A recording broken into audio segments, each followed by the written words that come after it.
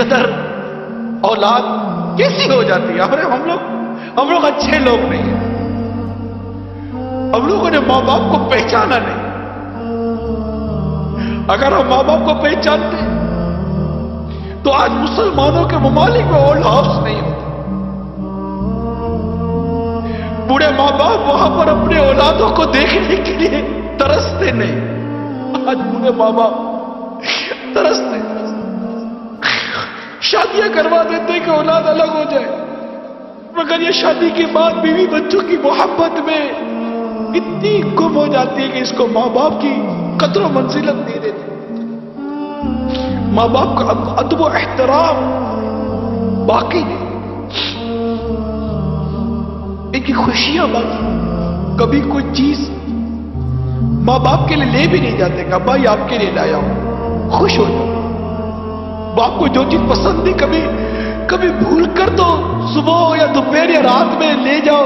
अब आप पूछे, बेटा, कैसे है अब्बा जान, ये, मैं बाज़ार से निकला था, मैंने देखा आपको बहुत पसंद है, मैं आपके लिए लाया हूँ। और आओ, दोनों मिलकर बैठ कर खाते हैं। कभी हुआ है ऐसा? बाप जब निकलता था तो आपकी पसंद का फल लाता था कि मेरे बेटे को आप पसंद है। नहीं नहीं, मेरे बेटे को केला पसंद है, मेरे बेटे को सेब पसंद है। आज माँ बाप के आगे ठंडा खाना रख देते हो। और माँ बाप उस दिन को याद करो जब बेटा कहता था अम्मी आज कराई खाने का जी चाह रहा है। माँ की तबीयत ठीक हो या ना तुम कढ़ाई पका कर खिलाती थी। होटल थी वो माँ को बावर्ची नहीं थी। नहीं अम्मी ये पसंद नहीं है मैंने आज अंडा खाना है। इसके लिए ये अंडा बनाया, मेरे लिए वो अंडा बना कर दो। तुम्हें दो दो किस्म के अंडे बनाकर तुम्हारी माँ खिलाती थी। आज तो घर का सामान लाते हो तो बीवी बच्चों के लिए छुपा कर लाते हो माँ बाप देख ना ले। कि माँ बाप ये सामान देखेंगे तो कहेंगे, बेटा कहाँ से लाए हो?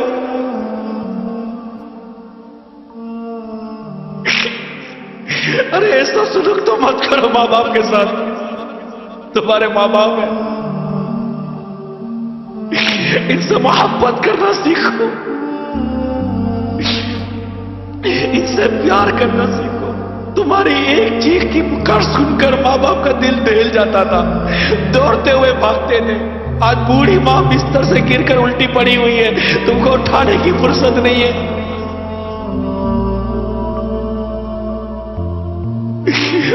नहीं सकती सही? मैं तेरी खिदमत करूँ कि काम करूँ? लेकिन तुम्हारी माँ ने तुमको कहा था कि बेटा, मैं बावर्ची में खाने, में खाना पकाओ कि तेरा ख्याल रखो।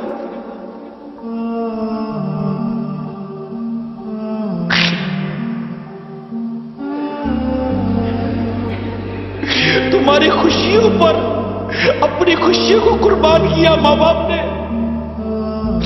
तुम इनको खुशी देने के लिए अपना वक्त कुर्बान नहीं कर सकते।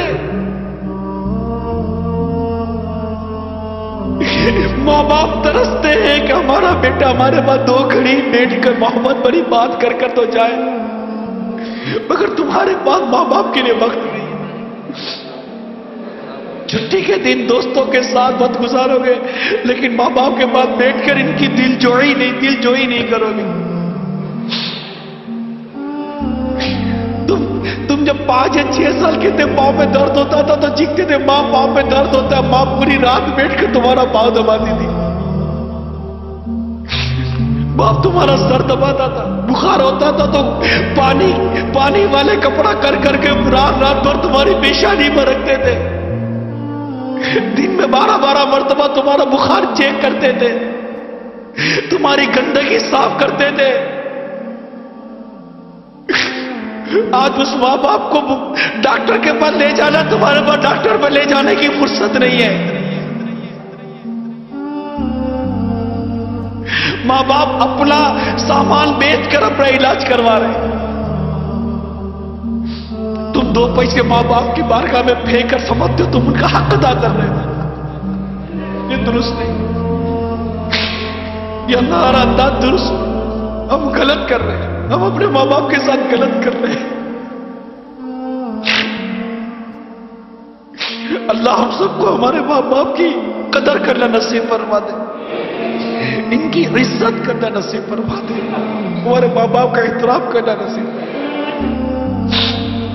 अगर हमारी परवरिश में हमारी तरबियत में अगर माँ बाप की तरफ़ से अगर कोई कमी है भी तो ये अल्लाह और हमारे माँ बाप का मामला है। हमारा नहीं है। हमें हुक्म है माँ बाप की फरमा बरदारी करने का, खिदमत करने का इतात करने का, इनको राज़ी करने का। जहाँ तक शरीयत ने हमको इजाज़त दी। मगर हम ऐसा नहीं कर रहे। बेटी, को कितनी